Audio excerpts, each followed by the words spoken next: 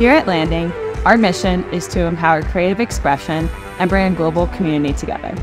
Last March, we launched our mobile experience using React Native to build a social app where users can make and share digital collages. With this technology, we've empowered over 600,000 users on both iOS and Android to share their unique creations with the world.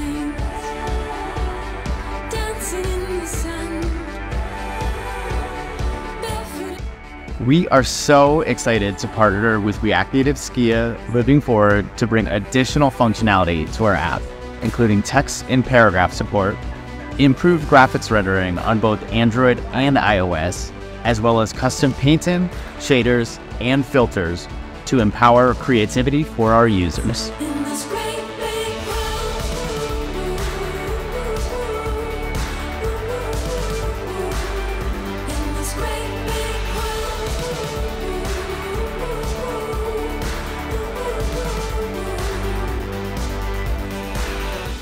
Hello React Native developers, I hope you are well. William here recording from beautiful Zurich, Switzerland. Thank you Landing for trusting React Native Skia while working on this project. We have seen incredible examples of indie developers, flourishing startups and large tech companies using it to power incredible experiences in React Native. Shopify, of course, uses it to power rich analytics to millions of entrepreneurs.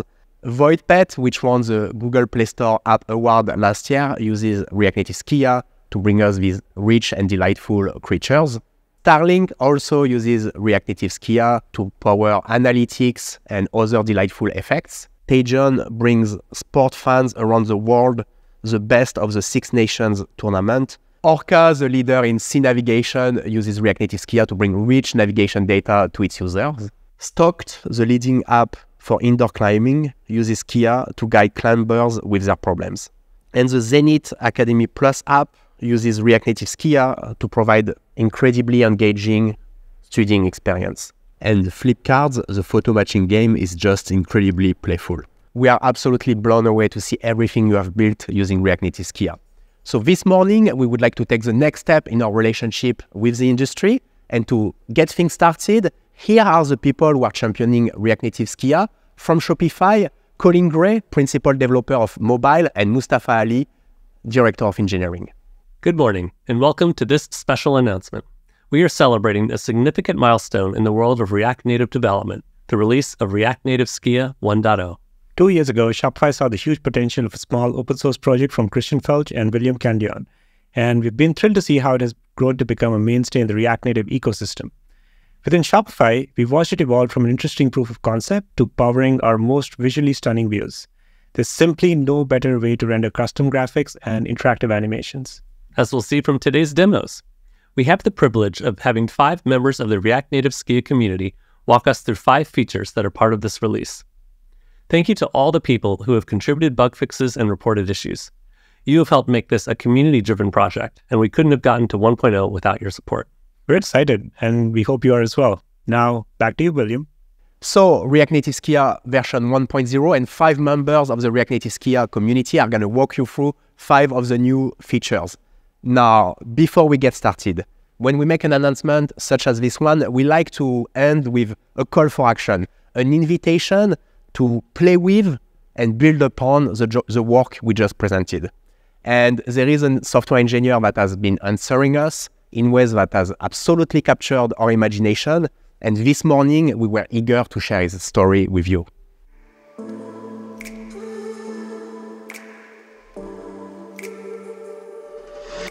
안녕하세요. 저는 한국에서 인디 리액트 네이티브 개발자 겸 프리랜서로 일하고 있는 문대현입니다.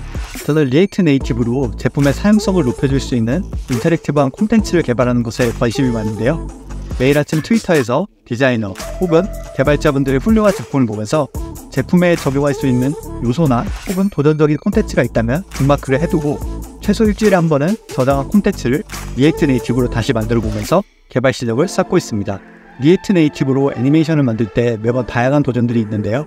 예를 들어 안드로이드 기기에서 프레임 드랍 이슈가 발생할 때도 있고 만들고 싶은 모션이 리액트 네이티브에서는 레퍼런스가 없을 때가 많아서 리액트 네이티브에서 잘 작동하는 버전으로 직접 개발해야 할 때가 많습니다.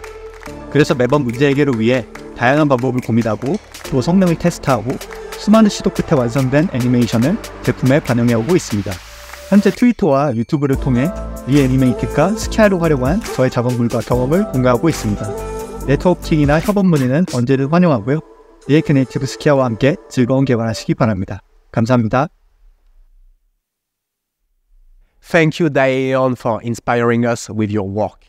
Now let's talk about text layouts. From day one, React Native Skia was able to display text, but it was not possible to break lines automatically, nor was it possible to apply layouts, nor was it possible to mix and match system fonts with custom app fonts. And that's exactly what the new Paragraph API does. And to show you this new feature used in the wild, Terry Sahaidak from Margelo.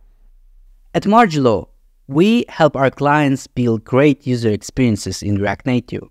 Recently, we've used Paragraph API to build a modern chat UI, where our users can both send regular messages or drag and drop them anywhere on the screen, move around, change font, color, or even use complex text presets, keeping the interaction buttery smooth and text razor sharp.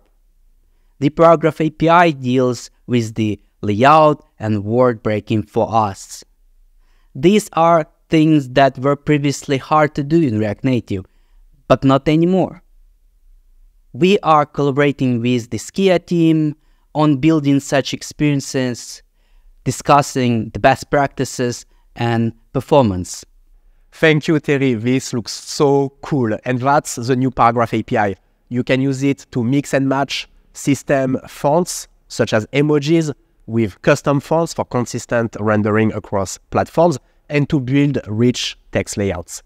But React Native developers, wait a second. What unites us is our love for React's declarative model. There is something so incredibly joyful about the JSX syntax and React's composition model. And we benefit from a strong type system, a type system which, by the way, has become leaps and bounds ahead of programming languages which were typed from the ground up. But I digress. So when we are looking at these examples, what we really want to be looking at are these beautifully deeply nested text nodes and components in the JSX syntax. And that's the declarative paragraph API, available as a technical preview today and to be released as stable later this year. The Paragraph API is one of the most advanced Skia feature, and what we do is expose it in React Native. And now the question is, how good can we make this integration? And it's a two-fold answer. The first fold is about finding a sensible, declarative model for these APIs in React. And now let's talk about the second fold, which is performance. And we start with animations. Last year, thanks to the help of Software Mansion, we announced the reanimated integration with Skia. We aimed at enabling developers to animate on the UI thread using the animation library they know and love. And we also wanted to take advantage of the best the React Native reanimated ecosystem has to offer. For instance, here we use Gesture Handler on the Skia Canva. Now, let's follow the thread of integrating with reanimated.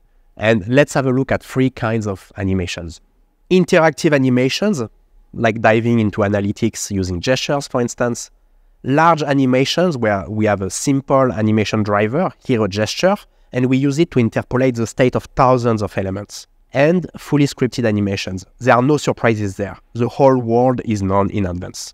Let's talk about interactive animations. In a Skia scene, there are usually tons of Skia objects being exposed through JSI, and to animate them efficiently, there are a couple of principles we need to follow. First, of course, they need to be mutated on the UI thread, and then we need to make sure we are not creating any new objects at animation time. We want to avoid these allocations for two reasons. First, they are somewhat slow. They are not slow per se, but relative to everything else we're doing at animation time, and considering the amounts of objects we are dealing with, it's relatively slow. And the lifetime of these objects is a single animation frame. This means that we either need to explicitly delete them or making sure that they are being efficiently garbage collected, and we don't want to do that. What we want to do is forget everything I just said and provide you with animation hooks, which are the easiest ways to build animations in React Native Skia. And behind the scenes, we're going to take care of building these animations as efficiently as possible. I'd like to show you two examples. This is the use path interpolation hook that allows you to nicely interpolate across paths. We think it's a very easy way to interpolate. And again, behind the scenes, we're going to make sure it's the fastest way as well. Here, our paths have been nicely prepared, but to interpolate across any path, here it is, same story, but Flubber prepared the paths for us using vertices. We have the use path hook, which is similar, but we can use it for any path mutations. Here, we add a little bit of noise to our little void pets, for instance. Now, I know someone who has a vested interest in these new animation hooks, and that's Carlos Pereira from Shopify. The Shopify app empowers merchants to manage the Shopify store from the mobile device. One of the most used features in the app is the Analytics dashboard that allows merchants to keep a pulse on their business while on the go. Leveraging the capabilities of Victory Native XL, a library built atop React Native Skia, reanimated and React Native gesture handler, we successfully built new interactive charting components that perfectly suit our needs. The best part, performance was never a concern, even on lower devices. We had a lot of fun and we are excited to build more. Thank you, Carlos. With Reanimated and Skia, you can also create textures. Textures are drawings and images that live on the GPU and that can be shared across canvases. Now, to create these textures, there are a lot of nitty gritty you need to attend to, but we want to provide you with animation hooks that do all of this work automatically for you. There is use image as texture that will allow you to load large images directly in the GPU. And you can also use texture for creating textures from Skia drawings. And you can even use the imperative API if needed. Here we have a path and we can draw circles along this path. Skia nicely provides us with all the path information we need. And if we draw enough circles and we interpolate the color of the circles nicely, it looks like a nice gradient along the path. And we can even play with the circle radius to give a nice variable stroke effect. But that's a lot of circles. So what we want to do is to create a texture where we can only draw a few circles on every frame, and this will animate extremely fast. Textures are enabling a new API I am pretty excited about, the Atlas API. You can use it to draw large scenes. You set up your texture, define your drawing elements and transformations, and you can even do Z indexing by sorting your elements. And to walk you through this new API, Enzo Mangano from Worklet. I'm Enzo, a React Native software engineer, but you may probably already know me thanks to my YouTube channel called Reactive. On my channel, I really love the process of creating from scratch and sharing React Native tutorials made with the help of Reanimated Skia. Almost a year ago, I stumbled upon a crazy UI demo made by Philip Davis on Twitter about a beautiful 3D sphere animation. When I saw it, I knew that I had to recreate the same animation, but this time with React Native. The beauty of the animation is that it looks much more difficult than it actually is. After placing the squares on the Skia Canva, the trick was just finding out the reference point to the scaling and just like magic, out of nowhere, a 3D sphere appears. One year ago, I was pretty happy with the final result, but when I tried the new Alpha API and together with William, we tried to recreate the same animation, I was totally blown away about the performance improvement of Skia. Actually, the process of readapting the animation first to Reanimated and then to the new Atlas API really helped me appreciate even more all the improvements there have been in React Native Skia over the past year. And I can't wait to explore what this package holds for us in the future. Thank you, Enzo. This looks really cool. So we've looked at interactive animations, large animations. Now let's talk about scripted animations. And we can do it in three simple steps. First step, you can actually use the Atlas API to animate sprites. Here we have our little void pet, and we can actually use the Atlas API to make him breathe fire. We have the sprite, and from there, animating it is trivial. Step two is our new support for animated images. GIFs or WebP. Again, here we provide you with the right animation hooks to do so. And for the last step, the final boss of scripted animations, Hanno Gödecke from Margelo. Hey everyone, my name is Hanno and I am a software engineer at Margelo. I'm excited to introduce you to React Native Skottie, a library we've built on top of React Native Skia. This library is specifically designed for rendering Lottie animations with optimal performance.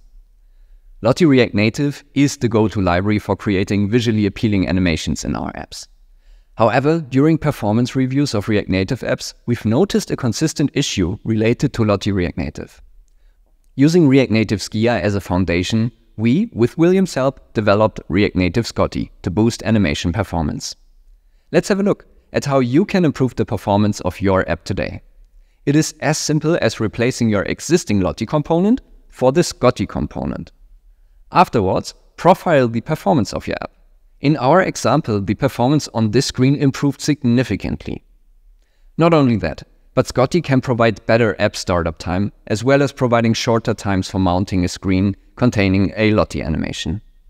Right now, React Native Skottie is provided as a standalone view.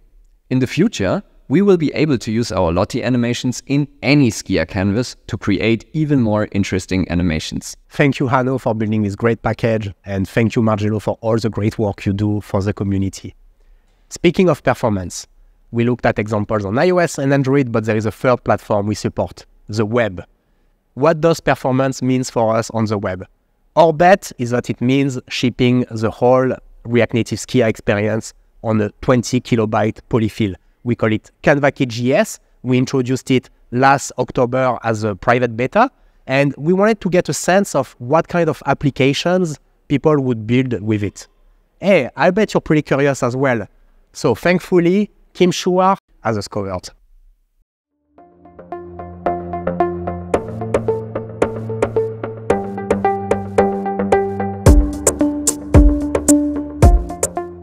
Hi web and mobile developer, this is Kim, recording from beautiful Bordeaux, France.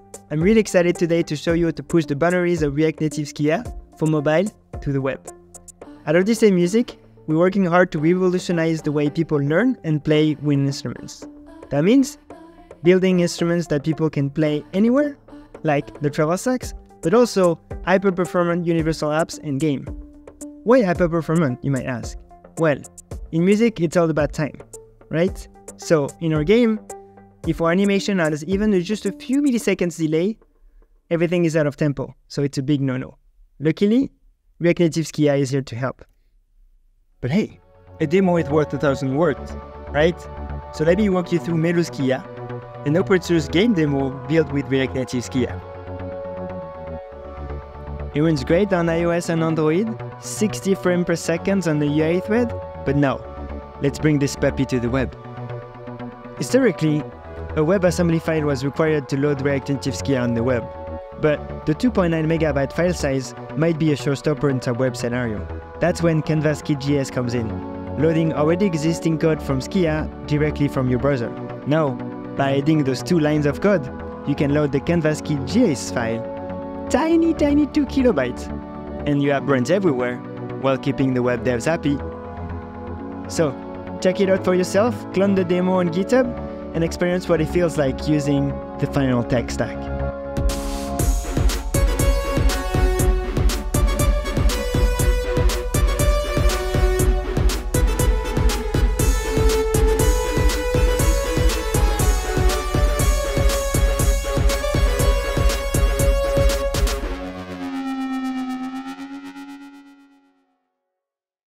Thank you, Kim. This is really, really cool. And now that I'm seeing this, I am pretty convinced that CanvaKit.js can help a range of React Native Skia applications to ship on the web with a small bundle size. So today, we are making CanvaKit.js open source, still a very experimental project, but we think it has strong legs. And the way it is built is very interesting. There are two layers. The first one, we call it Canva 2D Next. We asked the question, how would the Canva 2D API would look like if it could power React Native Skia experiences out of the box. It would contain support for image filters and layers, as well as providing support for basic path operations. And this is effectively what we have built with this layer. Once we have our Canva 2D on steroid up and running, all we have to do is provide a compatibility layer. If we do our job well, a Skia client should almost be unable to distinguish between Canva Kit WASM and CanvaKit.js we wanted to put this idea to the test and run CanvaKit.js on a Flutter web app, which has absolutely no prior knowledge of CanvaKit.js. Not pixel perfect, but pretty close. So we think that it can help Skia clients outside React Native to deliver rich web experiences with a small bundle size. And we also think that this is a great API for vanilla web development. So putting any Skia clients aside in order to break the silos between graphic APIs and have really performant web experiences. We had a look at the Atlas API, which was able to draw large scenes in a single call. This API is one or two order of magnitude faster on web than its Canva 2D counterpart. We will soon be able to provide support for such API part of CanvaKit.js as well. And this is exciting because if you look at some of our examples, they go beyond just supporting React Native or other Skia clients on web, but rather trying to offer a better web experience with a small bundle size, period. And these were the five things I wanted to show you this morning. Rich text layouts using the new Paragraph API, animation hooks, which are the easiest and fastest way to build animations in Skia, the Atlas API to build and animate large scenes and not skip a beat even on low-end Android devices, efficient Lottie animations using the new React Native Skottie package, and CanvaKit.js, a small but promising library to deliver rich web experiences with React Native Skia under a very small bundle size. Now, this release is the result of an incredible collaboration across many different industry players. From independent developers to flourishing startups and large tech companies, these community driven efforts are part of our DNA as React Native developers. And if you ask me, this is probably why React Native is so technically elegant and why its journey as a developer so joyful. Now, this release has already created incredibly positive momentum, and we have some really fun stuff in the pipeline. So, yeah, I am looking forward to talk to you soon, and until next time, happy hacking.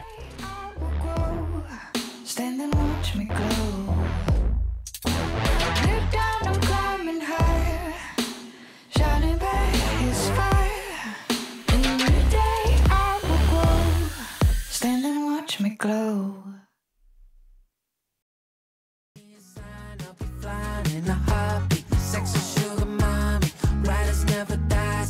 I'll be by your side when you call anytime, any place for you.